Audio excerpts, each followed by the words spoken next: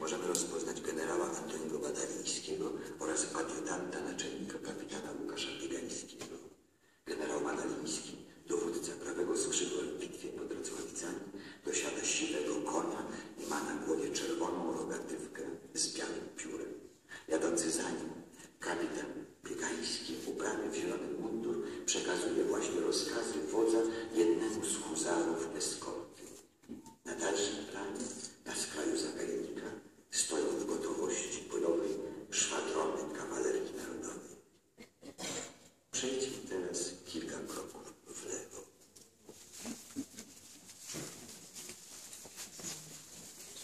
Widoczna przed nami część obrazu przedstawia rosyjskich artylerzystów, którzy w panice uciekają ze stracenia baterii. Granatów konie rwą uprzęże i wywracają zaprzęgi. Ucieczkę utrudniają świeżo zaorane pola. Czerk jest na siwym koniu, z piczastym hełmie na głowie, daremnie usiłuje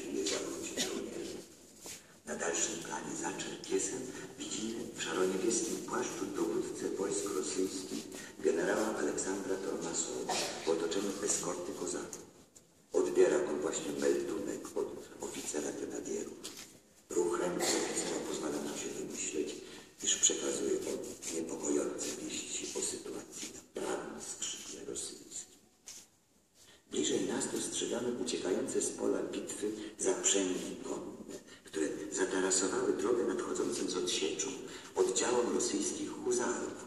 Huzarze muszą wyjechać z osłaniającego ich wąwozu na otwarte pole i stają się tym samym łatwym celem dla polskich strzelców wyborowych zgrupowanych po lewej stronie drogi. Grupa strzelców usytuowana przy dwóch wysokich sosnach kieruje ogień na uciekające zaprzęgi. Oddział uzbrojony w karabiny piechoty polskiej walczy z ubranymi w zielone mundury rosyjskimi granatierami rozsypanymi w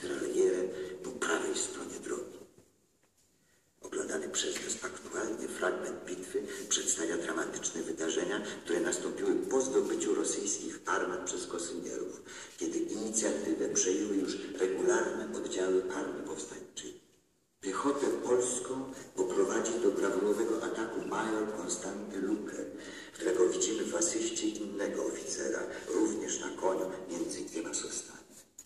Na prawo od niego żołnierze pierwszego batalionu, drugiego regimentu w granatowych mundurach z żółtymi wyłokami ścierają się na bagnety i kolby karabinów z umundurowanymi na zielono rosyjskimi jegrami. Wśród walczących piechurów wybuchają granaty. Nieustraszeni powstańcy prą jednak naprzód w zwycięskim natarciu. Dzielnie broniący się batalion rosyjski został rozniesiony. Mimo iż, jak widzimy, to na dalszym planie z lasów od strony Racławic wychodzą kolejne kolumny piechoty i jazdy rosyjskiej, nie będą one już w stanie odebrać Polakom zwycięstwa. Przejdźmy teraz dalsze kilka kroków w lewo. Roztaczający się przed nami fragment malowidła przedstawia wielką scenę starcia jazdy polskiej i rosyjskiej. Na bliższym planie widzimy ubranych w czerwone mundury dońskich kozaków spychanych z pola walki przez atakujących polskich kawalerzystów. Pojedynczy jeźdźcy prowadzą bezpardonową walkę w głębach kurzu zbijanego kopytami rozszalałych koni. W wielkiej kotłowaninie polscy kawalerzyści, których widzimy tutaj w niebieskich mundurach, zdobywają biało-żółtą chorągiew kozacką. Cofających się kozaków ostrzeliwuje z flanki pluton drugiego polskiego regimentu pieszego. Powyżej, z prawej strony, oficer piechoty polskiej w kapeluszu na głowie i z wyciągniętą szablą w prawej dłoni odkomendorowuje strzelców wyborowych na nowe stanowiska do ostrzału jazdy rosyjskiej. Tymczasem główne natarcie ma dopiero nastąpić. Dowodzący oddziałem kawalerii polskiej, major Ignacy Zborowski, wzniósł już szablę w górę, a stojący obok niego trębacz daje sygnał do ataku.